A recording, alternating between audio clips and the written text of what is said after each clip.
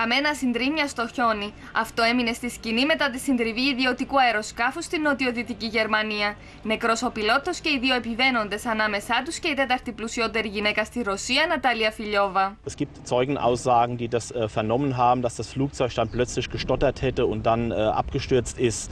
Was es damit auf sich hat, was da die Hintergründe sind, da bitte ich um Verständnis, da ist es einfach noch zu früh. Τραγική ηρωνία ότι περιπολικό που έσπευσε στη σκηνή του δυστυχήματος συγκρούστηκε με όχημα με αποτέλεσμα να χάσουν τη ζωή τους δύο άνθρωποι και να τραυματιστούν τρεις αστυνομικοί. Η Φιλιόβα ήταν συνειδιοκτήτρια των αερογραμμών S7, γνωστών και ως Siberia Air, της μητρικής των Κυπριακών αερογραμμών, της δεύτερης μεγαλύτερης αερογραμμής στη Ρωσία. Ήταν 55 χρονών και η περιουσία της υπολογίζεται στα 600 εκατομμύρια δολάρια σύμφωνα με το περιοδικό Forbes. Τα αίτια του δυστυχήματος διερευνώνται από τις διεθνείς και τις ρωσικές αρχές.